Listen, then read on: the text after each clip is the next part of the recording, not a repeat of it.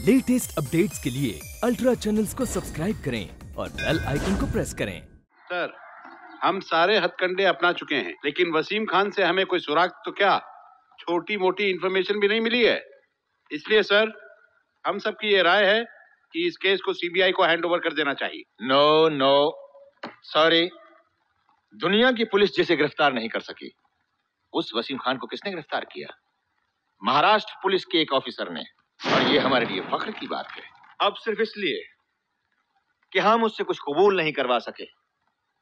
इसलिए इस केस को सीबीआई को सौंप दें। इससे हमारे डिपार्टमेंट की कितनी इंसल्ट होगी कभी सोचा है आपने? नहीं। ये केस सीबीआई को नहीं सौंपा जाएगा। हमारे ही डिपार्टमेंट का कोई काबिल ऑफिसर इस केस को हैंडल करेगा। तो फिर जिस ऑफिसर ने वसीम खान को गिरफ़्तार करके इस डिपार्टमेंट का रुतबा बढ़ाया है उसे ही ये केस क्यों नहीं दे दिया जाए? बिल्कुल। सर डीसीपी आज़ाद से बेहतर और कौन होगा? ये तो अच्छे अच्छों की ज़ुबान खुलवा चुके हैं। मिस्टर आज़ाद क्या कहना है आपका? सर मैं ये केस लेने को तैयार हूँ लेकिन मेरी कुछ शर्तें हैं। शर्तें? सर हम जेल में क्रिमिनल्स को इसलिए रखते हैं ताकि वो सुधरें। लेकिन ऐसा होता नहीं है। आज जितनी भी जेलें हैं सब उनका अड्डा बन चुकी हैं जहाँ वो सेल्यूलर फ़ोन के ज़रिए अपना गुंडा राज चलाते हैं। और ऐसी किसी जेल में हम वसीम खान को रखकर पूछताछ नहीं कर सकते? इसलिए मुझे वसीम खान के लिए एक स्पेशल सेल चाहिए, जहाँ सिर्फ़ मेरे सिलेक्टेड ऑफिसर्स होंगे। Okay go ahead thank you sir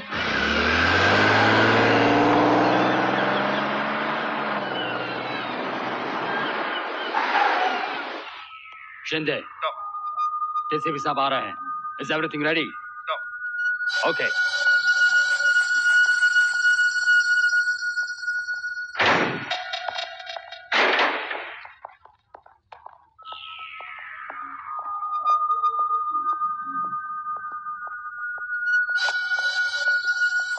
good morning sir good morning कैसे हो पाटिल एकदम फिट सर सर आपने मुझे अपने साथ रखा।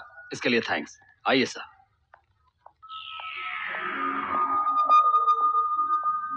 ये देखिए सर सर जैसा आपने चाहा था, सारा अरेंजमेंट वैसा ही किया है। चाहे कितना भी बड़ा ऑफिसर आ जाए, आपकी इजाज़त के बगैर अंदर नहीं आ सकता। ये देखिए सर चारों तरफ़ क्लोज सर्किट कैमरे लगे हुए हैं। इनके ज़रिए सेल के चप्पे चप्पे पर हमारी नज़र रहेगी, और खास तौर से फसे खान पर। सर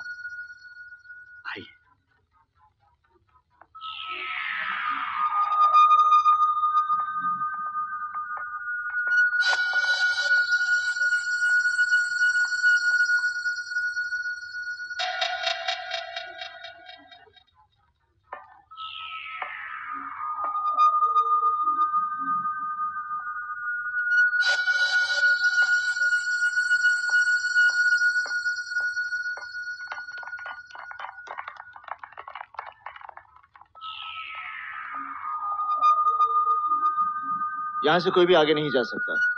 सिर्फ़ तुम जा सकते हो पाटिल राइट सर ये हथियार जो तुम लोगों के पास हैं ये उसकी हिफाजत के लिए।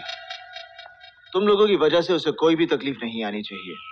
Is that right Patil yes sir वो बहुत शातिर है। वो तुम्हें कितना भी उकसाए कितना भी गुस्सा दिलाए अपने आप पर काबू रखना। जिस तरह तुमने गुस्से में आकर दादर वाले गुंडे के हाथ काट दिए थे ना वैसी गलती मत करना। Sir I will be careful this time to your places you to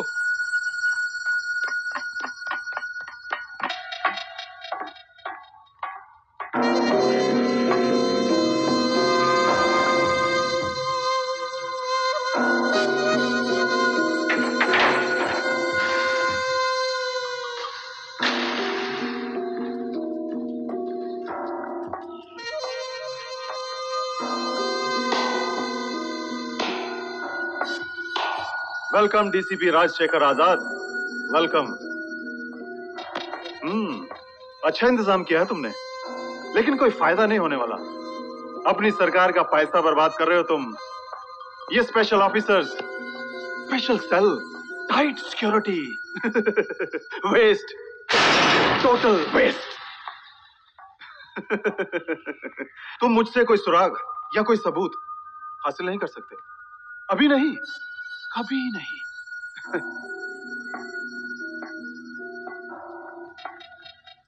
क्योंकि तुम्हारी ताकत की हद सिर्फ़ इन सलाखों तक है।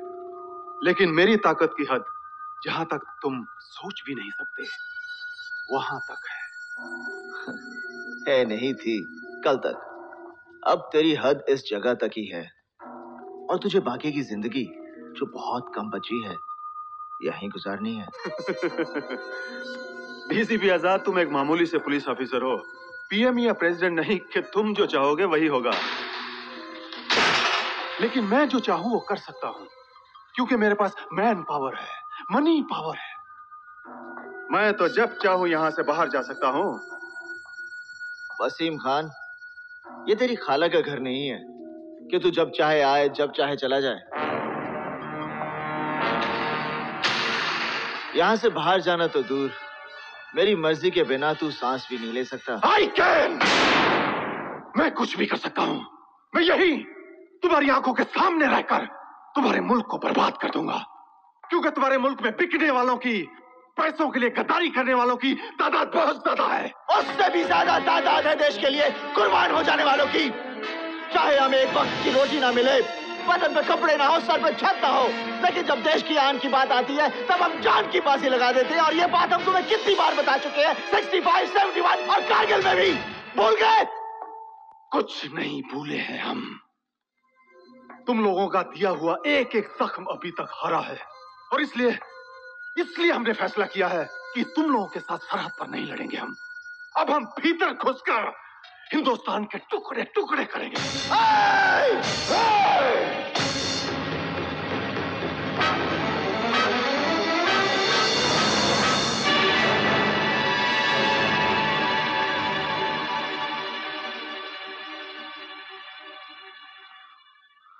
तू ज़िंदा इसलिए है क्योंकि मेरी कस्टडी में है हम हाथ मिलाना भी जानते हैं, हाथ उखाड़ना भी हम गांधी जी को भी पूछते हैं, चंद्रशेखर आज़ाद को भी।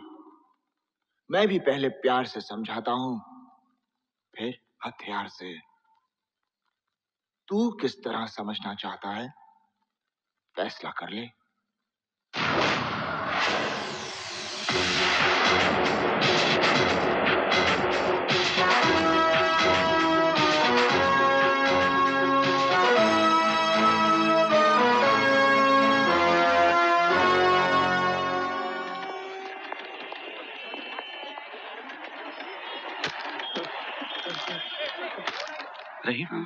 लिस्ट में हमारा नाम ही नहीं है। रहीम चल बाहर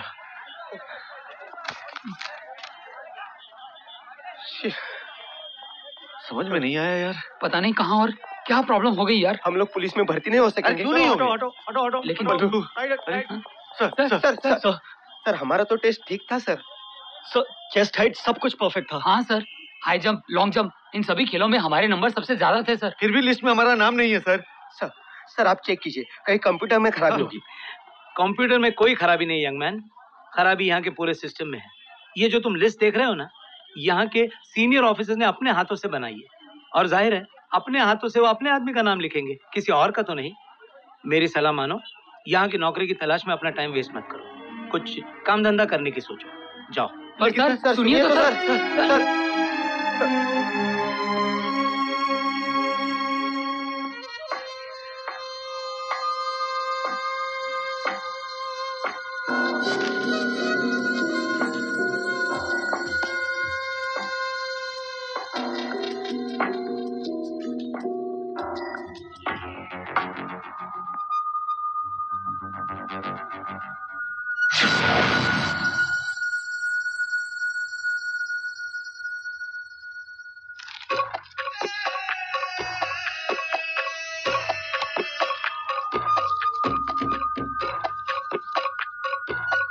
DCP Azad. मैंने कहा था ना, मैं कुछ भी कर सकता हूँ। अब देख मेरा मैसेज मेरे आदमियों तक कैसे पहुँचता है।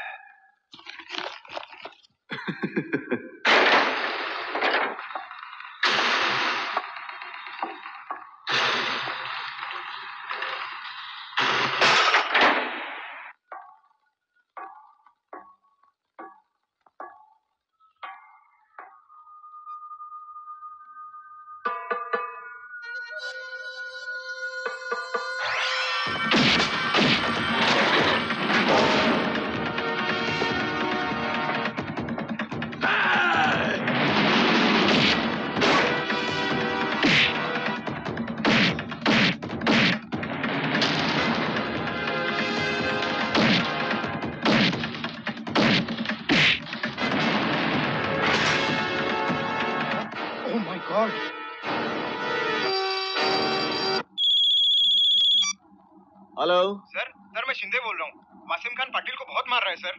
क्या? Yes sir God.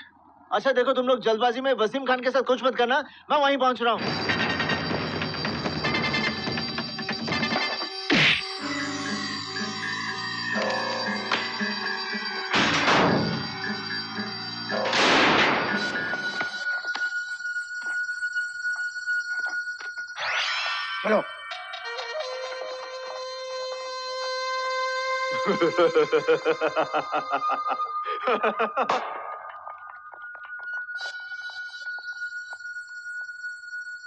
तो ये उसके लिए सेल में खाना लेके गया था।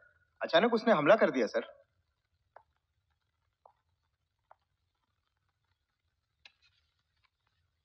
घबराओ मत पाटिल। सब ठीक हो जाएगा।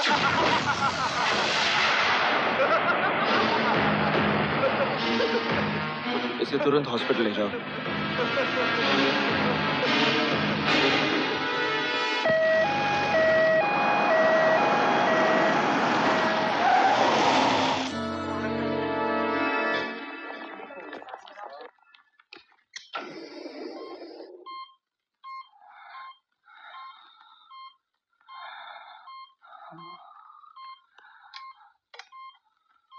दो घंटे में होश आ जाएगा।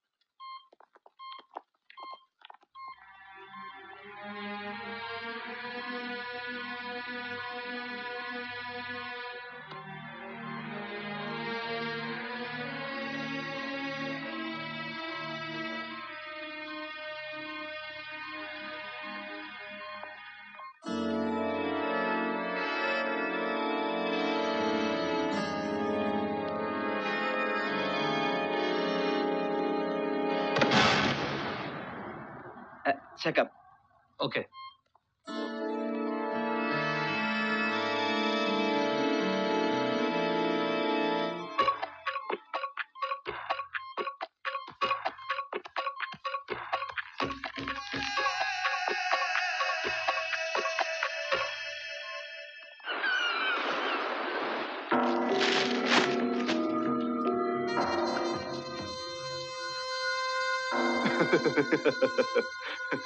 पढ़ो।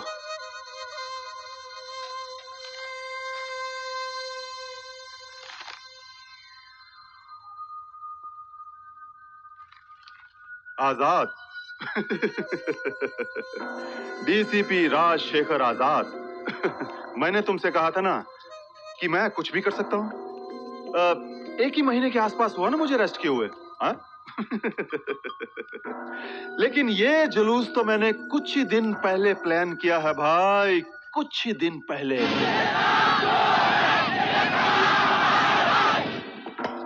थोड़ी ही देर में मेरे लोग जुलूस में शामिल हो जाएँगे।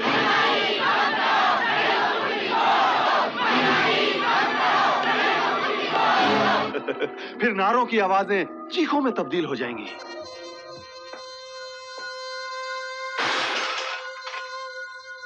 मैं तुम्हारे स्पेशल सेल में बैठे बैठे सैकड़ों लोगों का कत्ल करूँगा। बहुत जाबाज ऑफिसर हो ना तुम? उन्हें बचा सकते हो तो बचा लो।